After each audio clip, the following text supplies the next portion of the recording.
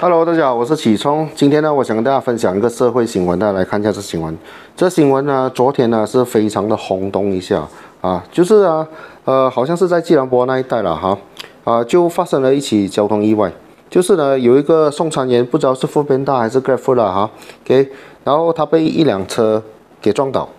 然后那个轿车的司机呢撞倒了他过后呢，啊，没有下来帮忙那个骑士，然后就是撞后逃啊。然后他这个事情呢，就给呃几个呃摩托司机呢，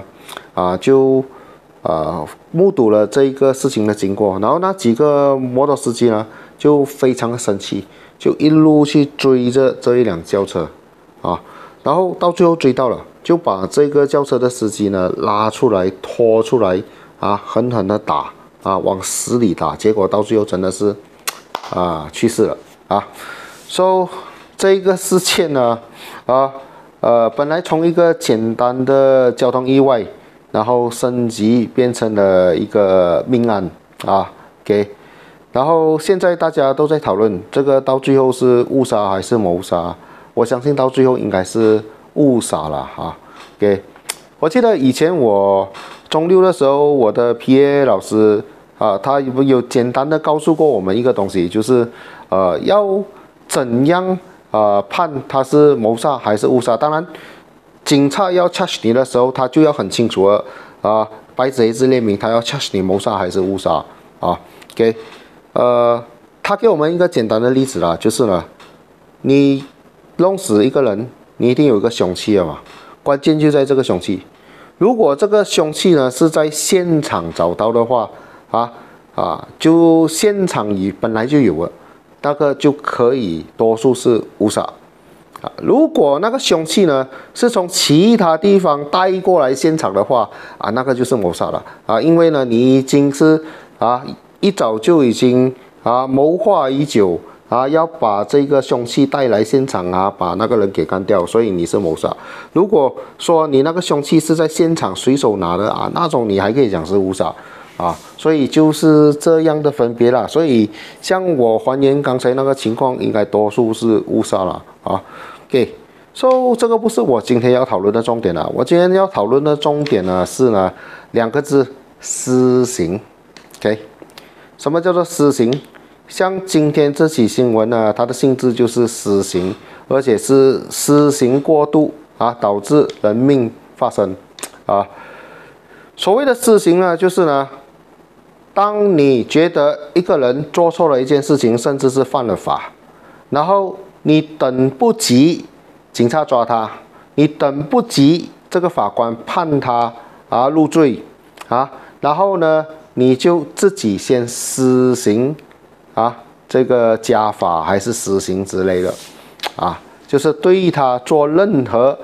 刑罚是根据自己的喜好去给他的刑罚。啊，包括了拳打脚踢，甚至到最后闹出人命，这个就叫做死刑。所以我今天我要跟大家讨论的东西就是这个死刑。死刑呢，本身呢就是一个犯法的存在啊。我在这里斩钉截铁的说一句啦，无论啊这个人啊做了怎样十恶不赦的大奸大恶的事情都好了，啊，落到了你手上，你都不能。对他施以私刑，啊，因为你对他施以私刑的话呢，啊，你不管他到底做了什么事情都好了，啊，你自己也是要遭殃，啊，在这里我就想起了有一个不在欧洲啊，古代啦，啊，大概一八多年、一九多年这样的时候了，呃，曾经有过一个故事啊，应该是在法国了，有断头台的地方应该是法国，给。说曾经有过一个这样的真实故事，啊，那时候欧洲啊就流行这个断头台，应该是法国了，啊，就每天有很多那些罪犯呢，啊就被送上了这个断头台，啊，然后有一次，啊，就有一个人他即将被送上这个断头台，然后他就有一个仇人，啊，应该是那种呃深仇大恨的仇人啊。啊，就很开心，啊，他的仇家终于要被问斩了，啊，然后呢，他有一天呢，他就买通了那个刽子手之类的了哈，然后他就说他要亲自处决这个他的仇家，啊，那时候的刽子手呢没有露脸的嘛，要套上一个头套嘛，所以他只要穿上他衣服，套上他头套，没有人知道谁是谁嘛，OK，然后他就做了这件事情咯，他就取代了这个刽子手，然后亲自的这个行刑，啊。然后成功了，斩下了他的仇家的头颅。然后后来这件事情不知道为什么东窗事发。然后东窗事发过后，你知道他的结果是什么？结果就是呢，这个呃报仇的这个事主呢，他到最后也被送上了断头台，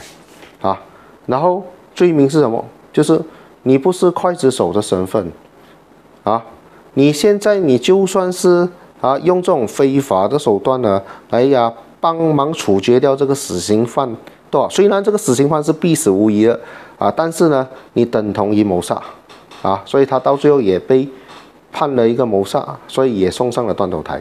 啊。我觉得这一个故事呢，是最好的历史来告诉我们为什么不可以施予这个死刑